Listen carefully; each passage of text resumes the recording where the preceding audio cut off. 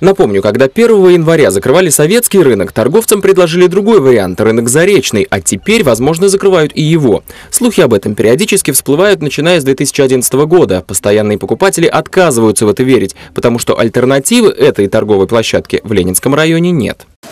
Даже не слышала. Нам тут нравится очень. Да.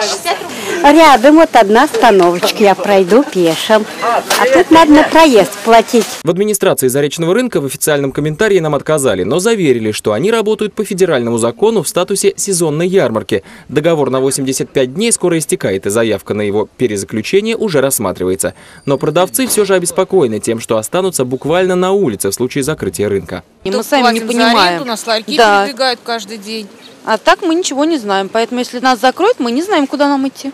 А лучше бы сказать И вообще мы, точно. да, мы не предупреждены конкретно. Вообще, конечно, в Ленинском районе лучший рынок, но только крыто, цивилизованный сделали и все.